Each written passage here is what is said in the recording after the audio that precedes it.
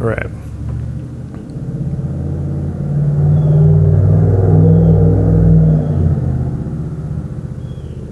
So I don't know about you guys, but I'm a big fan of collaborative design. In fact, most of the things that I build on the Wood Whisperer and in the Wood Whisperer Guild go through at least one other woodworker just to kind of identify flaws or come up with ways that we might be able to improve the design. One of my favorite people to do this with is my buddy Brian Benham. He's not only an incredible designer and a craftsman, but he's also really good at SketchUp. So when we do a Zoom call and we do a, a, screen share, he could be on SketchUp taking the ideas that are in my brain and bring them to life in an environment that we can manipulate them and identify problems. So for the recent mortising jig that we just made, we had a couple of those calls and I actually recorded the first one just in case we would need it for something in the future. So what you're gonna see here is a very raw discussion between two woodworkers trying to improve a jig design. Now, honestly, I'm a little bit apprehensive about showing this because it wasn't really meant for public consumption.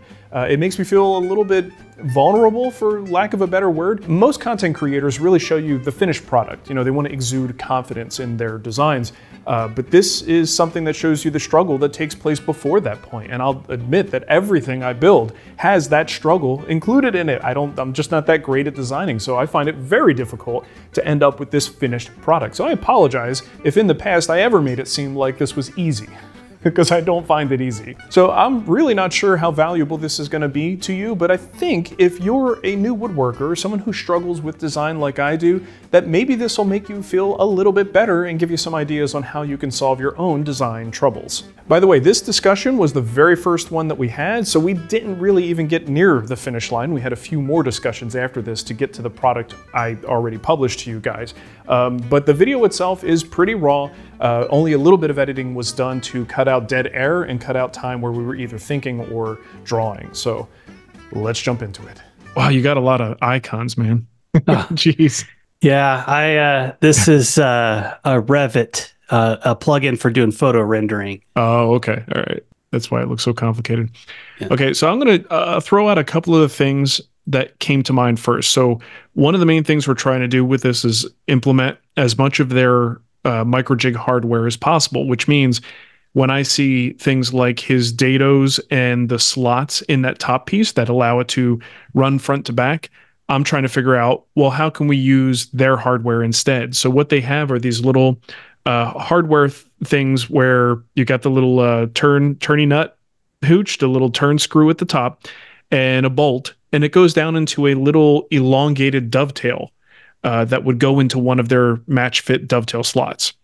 Right. So one of the things I was immediately thinking about is instead of having these that big top platform riding back and forth on dovetails, what you could do is take the sub base and put a dovetail groove in that front to back. So yeah, let's re- let's remove that from view for now. If you if you want to take that out, that's not that's not the piece I'm talking about. Just in case that's what you were going right. to do. But I want this dovetail uh, so I can uh, oh, you're, to redraw it. You're stealing it. I got yeah, you. Yeah, I'm stealing it.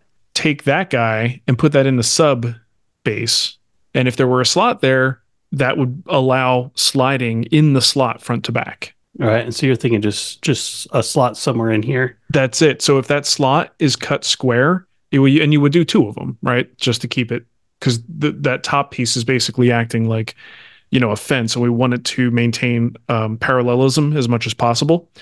So we'd have a slot on the, just like he has with his um, little add on hardwood runner, you would have a slot on each side. So am I got these kind of place where you're thinking? Mm-hmm. Somewhere in that area. Yeah. Okay. Okay. So then the top plate that would go on top of that and essentially ride back and forth would have, I'm guessing, they wouldn't really need a slot. What they would need is a single hole, which let's call it a quarter inch hole because I'm pretty sure that the bolt that they use is a quarter quarter 20.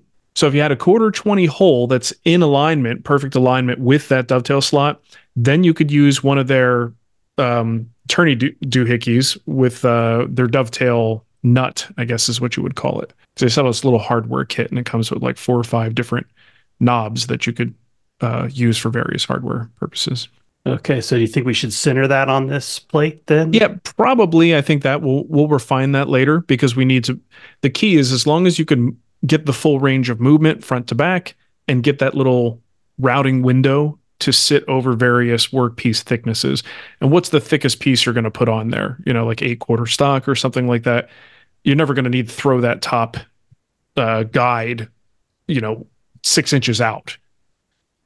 But again, that we could always refine that later. Really, I'm just looking to do a proof of concept, converting from more traditional stuff that that he has here to something that's more uh, fitting for their hardware. My thought is that would probably allow just as much front to back movement as hardwood runners would with a little less fuss. I don't know how well I mean we want to keep that parallel parallelism as much as possible. So the two bolts that are being engaged there, the two holes that we create are going to be pretty snug because ideally the snugger they are, the more likely that top piece is to stay parallel but I don't I don't know that it necessarily needs to be 100% perfect. We can always check it as you're using this thing just to make sure. Mm. But I but so that might be something if we can come up with a way that actually does make it stay parallel. I'm thinking if we leave those there, these doohickeys, because these are riding in uh, uh, some grooves already. Yeah. If we leave those there, that'll help lock it in. So you think in conjunction with yeah, those runners. we have we have both. Okay. Or that, if you don't want to do that, we could do um, uh, two holes. That's what I was wondering if two holes would do the trick. And I, the problem with that is I don't know how snug that's going to be until we actually make it. What what we know just by looking at this is the runners are going to be pretty dead on, but I'm not sure how just four bolts and the two dovetail slots would be in immobilizing that and keeping that thing, you know, running perfect. Well, that's kind of the uh, the sweet thing about the dovetail shape. As you tighten it down, it's going to pull up into that dovetail, and it's going to be kind of self centering, right? Mm-hmm. And yeah. self as long as it doesn't like as long as it doesn't shift, like you bring it forward from where you think you have it, and then as you're snugging it down, it kind of you know cocks one way or the other. But it, it, I don't think it's the end of the world to to keep those runners there because I mean that's a no brainer at that point. Like even if they get a little less uh, snug over time or they loosen up over time or something, they're still going to relatively between the two of them keep this thing. It was just like if it were on a set of ball bearings or something, like that's all that top should do is move front to back smooth with very little movement, but we can always double check it. So I think that might be one of the tests I would run in the shop is to cut a couple of these groove slots, uh, use their hardware, and just double check and see pushing it forward and back. First of all, how hard is it? to push forward and back when there's a f- total of four of these things in play. Um, do they do they like torque in position or will it will it run true? And if that's not enough, then we know we could fall back on those um, the runners. Yeah, and looking at that hardware, we want to make sure that because that thing was kind of rectangular, right? It's mm-hmm. it's spread out past uh, that, so we want to make sure we have this hole set back far enough that it's not going to interfere with any kind of mortising.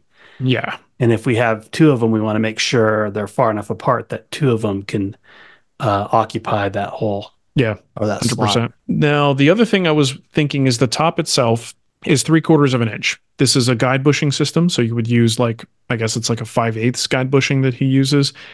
The problem the problem I have with that is it's using three quarters of an inch thick material on the top. Is there any reason that we can't make that top thinner and go with half inch instead? Because the thinner that is, the more depth we could potentially get. So right off the bat with a three quarter inch top like this, we're eating three quarters of an inch in bit extension. Right. And also additional vibration and, and chatter mm-hmm. for having your bit extended that far. Yeah. So ideally, like if we could pull a quarter inch back from that by making that top a half inch thick, I think that might be might be better. And if we do what what you're playing with there, if you do anything with the runners, they don't need to be more than an eighth of an inch, right? Like gravity's holding it down, the hardware is holding it down. It's just a guide. Yeah. So I'm just going to move these all the way down for now, just so they're out of the way. Mm-hmm. And then... maybe a uh, maybe a dumb question. It's all plywood. Um, if the top and the sub base are cut exactly the same, exactly the same time, exact same materials, why can't you just attach like a, a strip, even if it's just a strip of hardwood, to the side. It's, it would be screwed to the bottom platform not screwed to the top, and that would serve as your guide just to simplify things. Is there a reason you could think of that that wouldn't work? So you're talking you want something on the end here? Yeah. Like what if you just threw half inch thick end cap glued and screwed to the bottom, no attachment to the top. And then if you have to, you know, take a hand plane on your top board and just take, you know, one pass until that thing slides back and forth. Is there any reason that is less reliable than a set of runners, which would be a whole lot harder, not harder, just more work to make? Yeah. I mean, more work, yes. It feels more elegant though than this. Certainly more elegant. But uh, this, I don't see any reason why this wouldn't work, especially if you get uh, some good paste wax in there. Yeah. I know it might have more of a tendency to bind because this, this, yep. if four if, points uh, of contact, right, or four four surfaces yeah, that are in contact. Yeah, you have two. all of this contact in a very narrow space where this is just running on the edge. So if this whole piece, this whole top mm-hmm. piece, just shimmies just a, a little bit, it could bind. Where good runners, point. I think, would prevent it from binding. Okay, yeah, good point. Pretend I never said anything. Other things I'm looking at the the top uh, positioners or stops, I guess they are those top pieces. Thinking in terms of their hardware and dovetail slots, can we do something similar to what we did with the top, where you would have dovetail slots cut into that top piece, which now I guess maybe the half inch might bite us in the ass at this point. Well, maybe yeah. I was going to say they can go in the in the base, but I don't know that you want that hardware going all the way through there. So what I'm looking to do is instead of having a slotted piece, which I mean to be honest, cutting slots on something like that with a router is kind of a little bit sketchy. Um, if all we had to do was cut a dovetail groove in something and again use their hardware to position those stops left to right, I think we're probably cutting it close with the depth of that dovetail, aren't we? Uh, yeah, because the um, it's about an eighth of an inch. What's it? So you you made okay. So that top piece, the stop he has, that's half inch material, right? Yeah. Okay. All right. So that only leaves you with an eighth of an inch. So what I'm thinking is some way that you now have you could have a and I'm not even thinking of putting the dovetail in in the stop itself. I would put the dovetail either in the base or the sub base and have that same kind of piece of hardware to allow it to slide back and forth. But I, uh, that's why I'm like glad I got you doing the SketchUp thing because there's subsequent downstream things that will happen that will either make that a really bad idea or a really good idea. Well, fallback plan is to make the top three quarters. I don't want to. If we can make it a half, I'd love to. But if doing something like this requires us to go back to three quarters, then we go back to three quarters. What other hardware? Do they have any other hardware that we could play with? So they have, of course, their regular clamps, and basically it engages. They have a couple different styles of clamps now that engage with that dovetail slot. It's not really appropriate for this. All they have is that hardware kit, which is really just a series of different types of knobs and different size dovetail nuts, but they're all conceptually going to be exactly the same. They've even got the uh, a set of like dovetail track hardware where it's got the female track nut and then just a bolt. So if you just wanted something that's a little bit more fixed, but that's not going to help us. We need hand tightening here. Yeah, because this needs to be adjustable. And then the on this uh, on the one that has the wide base with the big wing nuts on there, that would be ideal for for this thing if we had uh, a slot in here if we went back to three quarters because now we're down to uh, an eighth here. I think. I think it eighth. it might be worth it to bring that back to a three quarters if it means another opportunity to use their hardware. Yeah, and that also, I mean, I, it still also simplifies things a little bit, making those um, through stop or through slots like that. Is, I mean, even as, as long as I've been doing this, not my favorite thing to do doing that at the router table. Oh, this drop, this right? Yeah, here. like you doing yeah. a dropped cut with stops and everything at the router table is not not my favorite. You could probably kill that little side piece that I had to put in there too. You'd have How to. How far do you your, want to go before you hit this doohickey? Just we need leave, some meat. Leave an inch. I don't really know until we're like in the thick of it, but I think give us a little bit of breathing room there.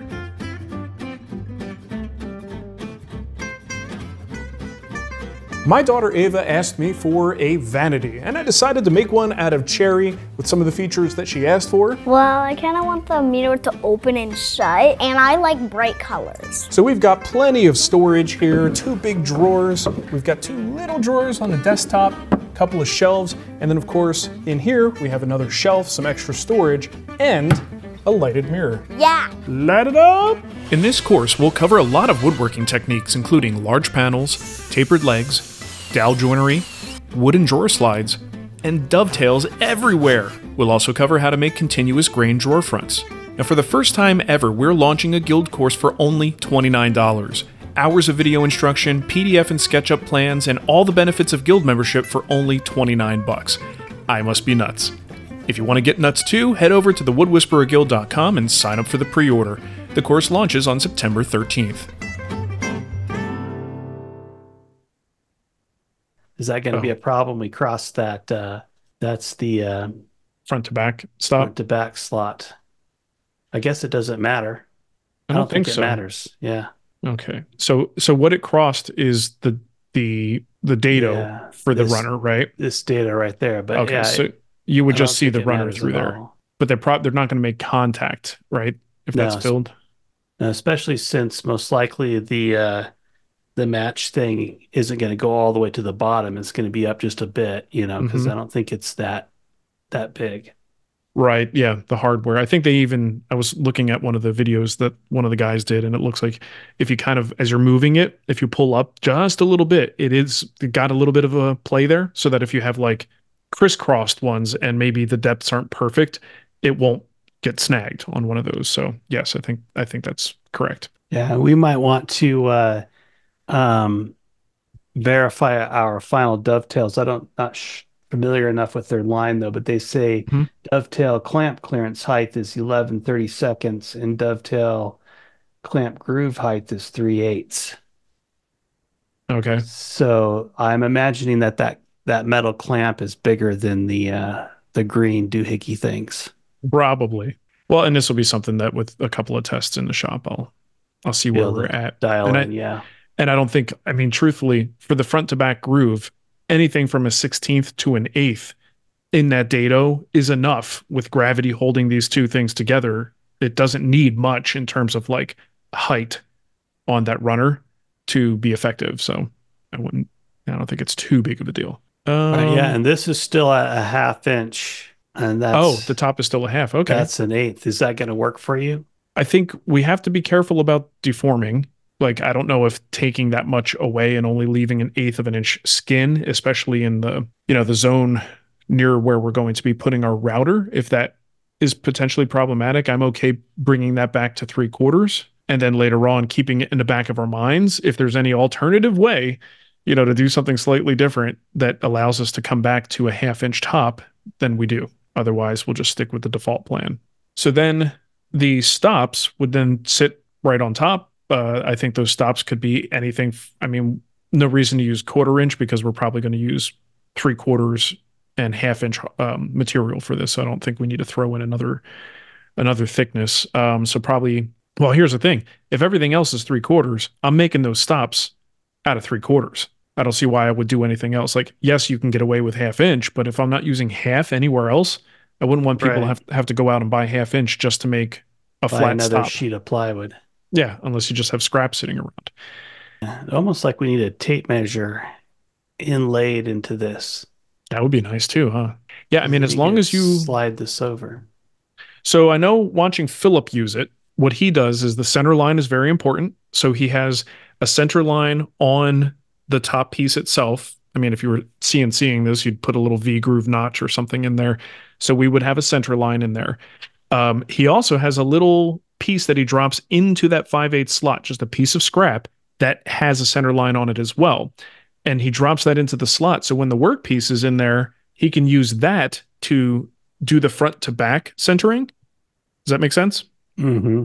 So uh, that's another thing I was hoping to come up with uh, somehow, maybe, I don't know how you would, a better solution for that. Because um, it seems like you're going to lose that little 5 eighths piece that that drops down in there to to help you center. I suppose if you have a center line on the outside of your workpiece, let's say on the outside edge of your workpiece, and you push it up, clamp it in place, and then you had a, the center line drawn on the underside, you would be able to look underneath and line them up that way, and then you wouldn't need an insert. So that might be one workaround for that. Yeah, I'm trying to think like just managing the clamps because you got to put it in there, you got to line it up on center and then clamp it down. Having a piece of wood just sit in there for me while I wiggle it around. Of course, that piece of wood is just going to wiggle around too. So that's sure. I think as long as it's snug enough and yeah. you got your piece in there, obviously viewing from the top is always going to be easier.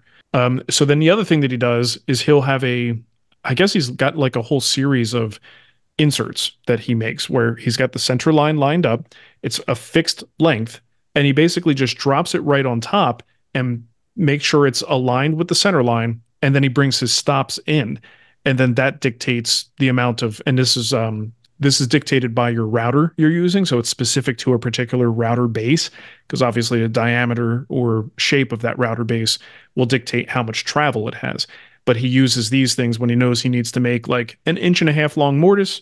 He's got this one ready to go, center line, line it up, bring your stops in, and then he could just drop his router in and go. So, I mean, it's a good solution, it, but again, it's going to be very, you know, got to give them the formula basically to to figure out how to get a mortise of a particular size based on any particular router base. Yeah, I don't really have a solution solution for that. It's going to be kind of a cumbersome mm-hmm. um, operation either way. I feel like we could probably make this a little longer. So, one other thing I was thinking of when you're holding the pieces up against that uh, vertical piece, right? So, that's using the whole match fit clamp system, you hold it in there. Um, just thinking in terms of if I, I were doing a project, typically you have multiple parts. I realize we have center lines, but I really would only want to rely on that center line for the first one. I don't want to mark up all my pieces. So you could like do something to draw a line and just make sure every piece is on that, but why not also use their hardware um, and make a fence so that you could have like a vertical piece. Ah, yeah. With a couple pieces of hardware that would slide into two of the grooves.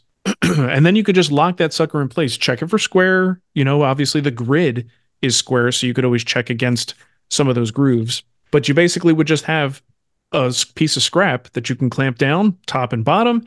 And then now, almost like you're doing like a vertical cut at the drill press or something, right? Like something that you could reference off of and it can slide all over the place.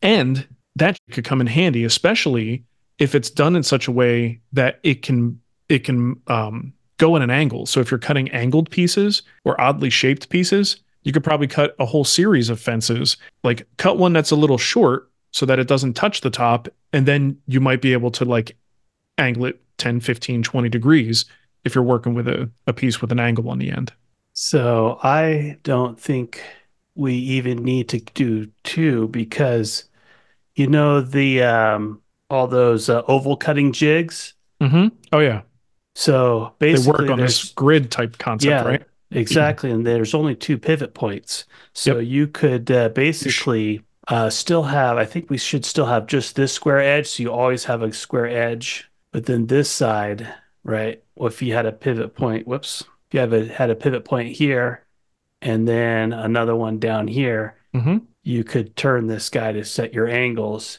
And then this curve would allow it to spin around. Is there any reason not to curve both corners so that it can go in both directions? Because the fact that it touches the top, that doesn't really hurt or help us.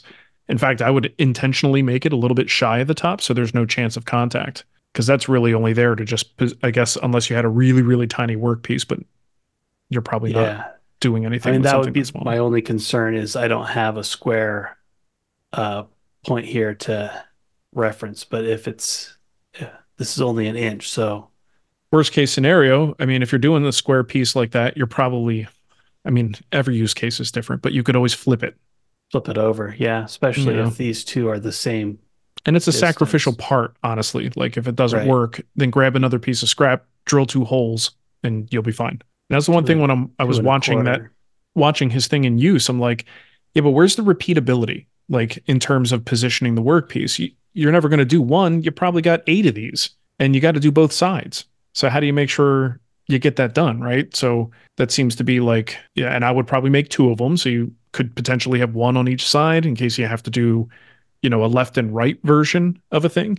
And, and that would even come in handy if you're positioning, let's say you're doing the leg side of a mortise.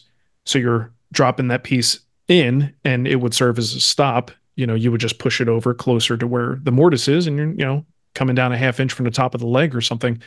That stop would come in handy for that too. And I think if you get real creative with this, imagine you've got curved pieces, um, bent lamination parts that you need to make something in, or you know, the back of a you know curved back chair or something, and you want to put a mortise in the end. Just having this surface with multiple work holding options would be pretty pretty nifty. So, do you need how much motion can you get, or like how much of an angle can you get with something like this? so you would have to engage one of the vertical things, right? Like I guess if I had this in my hands, it would be so much easier to understand. But as you're turning, if you really want to, oh right, because this one is going to come off. Yeah, so my current setup's not going to work. You're right. So you got to have a vertical uh, dovetail groove underneath that because the top one would be coming down and the bottom one is going to the right in order for yeah. that to work. Oh, whoops! I'm not spinning. Yeah, so let's see here. So yeah, this bottom one's going to come off that that groove. So so that's going to make it hard to uh, set um, your distance though from your center. Yeah, you can that, get an angle, but you may not get the right distance. That vertical line needs to land on wherever you want that angle to land. Does anything improve if the stop is slotted in some way? So, let's okay, so let's do this.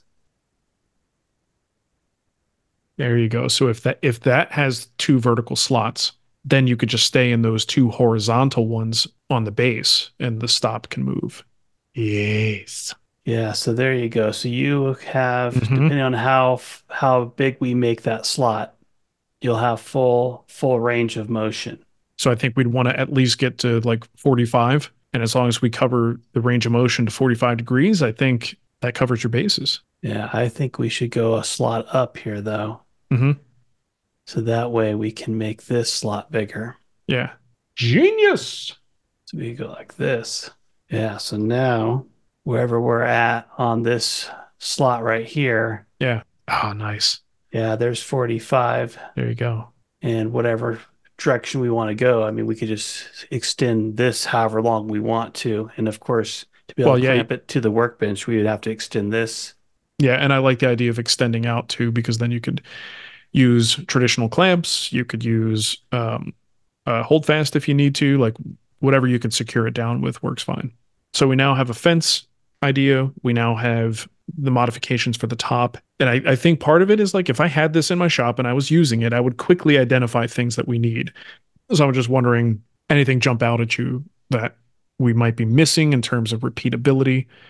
I love the idea of um, you know some kind of a measuring thing they obviously we can get a um, adhesive backed measuring tape drop one of those in there if we felt that that was going to give us like accurate enough results i mean because honestly your mortises never have to be very rarely do they have to be like a perfect number you just get close and then you just make sure they're all the same so like you don't necessarily need perfection you just need to be able to go okay i want that to be about an inch and a half so now i lock my pieces in it's going to be about an inch and a half. But what I know is it's going to be perfect on every one of these pieces. Yeah. What we need is a custom ruler that starts at zero and goes, you know, 10 inches or six inches in each direction. A center. Um, do they make I, such a thing? I've i bet you someone one. does. At the very least, it would go to zero and then maybe give you like 12 inches, but it's a four footer or something that we could probably sacrifice.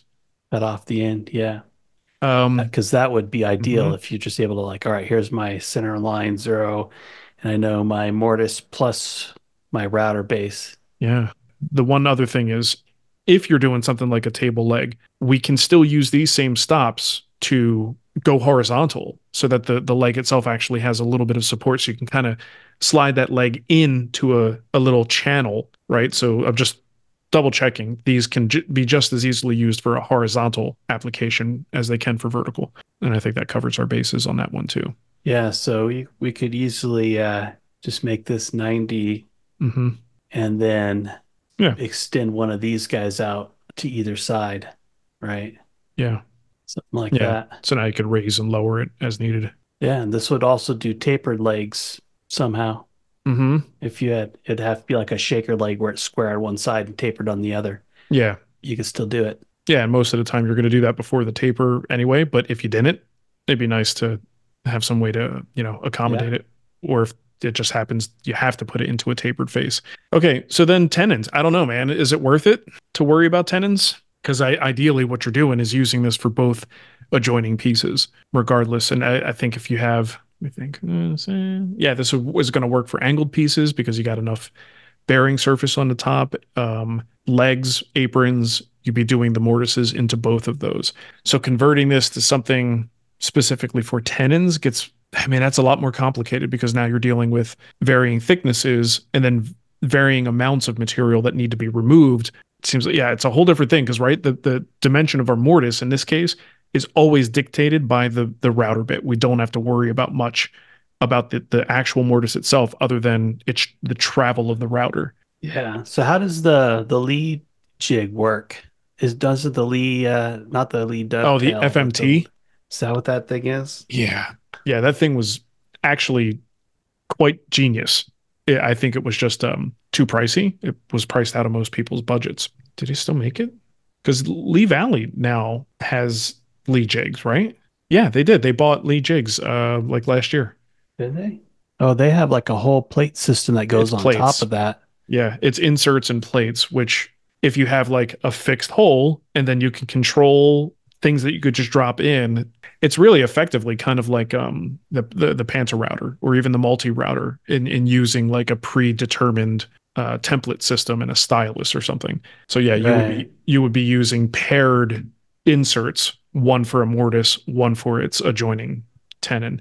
And honestly, I have no idea O- outside of overcomplicating the hell out of this thing. I don't know how you do tenons. I, I feel like Yeah, I Every- that's every- uh asking too much for what we're what we're trying to accomplish here. And then also at fourteen hundred dollars of this thing, man, you halfway to a PantoRouter.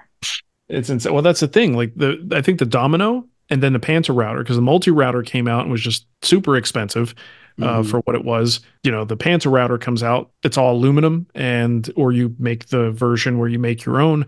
Um, and then you got the Domino, which hit the market, and suddenly like the older like older school methods like this, just it's hard to justify. The price just isn't there. Yeah. So yeah, the market was really turned upside down by a couple of those uh, disruptors. I, I mean, I think this is pretty damn good. This is um, I would like to find some more ways to differentiate from Philip's without making it like cumbersome or or making it worse. If we can continue to find ways to make it better, and what I'd like to do is even further, you know, dive deep into the MatchFit system and make even more improvements on this mortising, uh, you know, all right, that's good. Um, I think we could probably wrap it then for this first iteration. Um, do you want to sit on it for a bit and see if anything else comes to mind? I mean, Yeah. we made some pretty substantial changes, but I think if you want to um, throw out a copy of this to my inbox and let me see if if anything else comes to mind or any other problems. Yeah, I mean the the real question I think at this point for our current design is how big does this board need to be and where these vertical lines on this side need to be to be able to turn this horizontal and Mhm. also to make sure we can swing well anywhere on this thing. right. Like how how wide does this need to be? But Yeah. yeah, if I think of anything at um because I'm sure like my mind is always working in the background. I'm sure I'll think Sure. of something, you Stumble know, on some concept. after after I think about it a while. Yeah, okay. And I guess dust collection. So design a nice little dust shroud and we'll be good to go. One that preferably hangs on with magnets. Yeah, I, we could 3D print something for sure. Yeah. That would be great. Just hook it right on the front, just a little cup connects to your shop vac. I mean, it's not a terrible idea. It's beyond the scope of what we're doing here, but it's not a terrible idea. Well, you got two rails already right here, so that's your attachment point, right? Yeah. And Heck then yeah. you just right there's your dust dust shroud right on there. Yeah, I like it. But uh, Yeah, I mean, you're not going to be able, like, even if you use a festool, you're not going to be able to collect much from above with a guide bushing. You're pretty, pretty much trapping it all below. Yeah, well, this is now that now that I think about it, so it's all going to be trapped into your mortise, It and your mortise is going to be pressed tight up against this. So the So only way you could do it out. is col- like this is when I would grab the shop vac and I'd be going at the top trying to pull it out of the slot. Yeah. Or you, you, you're going to take like an eighth inch pass each time and just clean out in between the runs. Yeah. Ain't nobody got time for that. This is a dumb idea. Why are we even doing this? this is stupid. All right, thanks, man. I'll have to All see how this recording went, but uh, appreciate your time and uh, let me know what you come up with on that. And we'll noodle it, noodle a little bit more. And I, I mean, at this point, if we even need one more meeting, I'd be surprised. This is that we got this pretty far along. So Knocked it out pretty quick. Yeah. yeah, awesome. All right, thanks, man. Appreciate it. All right, All right, See later. see ya. All right, so let me know what you think because we could probably do this again in the future. We have these design conversations all the time, we just don't record them. So if you think it might be valuable, I'm happy to document it and uh, publish it for you guys. Um, the other thing is, Brian, of course, if you're interested in following that guy, I'm going to put all the info in the description so you could follow him wherever Instagram, YouTube. He puts out a lot of content himself and someone that's a, a worthy follow. All right, thanks for watching, everybody. We'll see you next time.